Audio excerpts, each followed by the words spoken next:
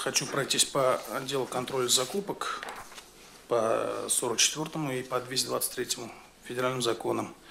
В 2016 году рассмотрено 861 жалобы всего э, по двум данным законам. Это на 23% больше, чем в 2015 году.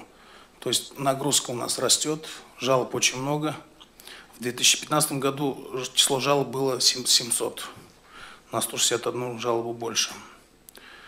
По 44 закону из них 535 жалоб, в 2015 было 357, и по 135 и 223 законам 326 и 343 соответственно.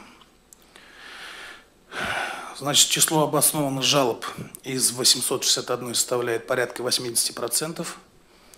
То есть 80% э, жалоб, э, торгов по жалобам признаются э, обоснованными, торги признаются незаконными. Выдаются предписания об их отмене, либо внесении изменений там, в конкурсную документацию и так далее. Ну, типичное нарушение, нарушение сроков размещения контракта, нарушение сроков размещения извещения о закупке в единой информационной системе, нарушение сроков размещения положений закупки и так далее.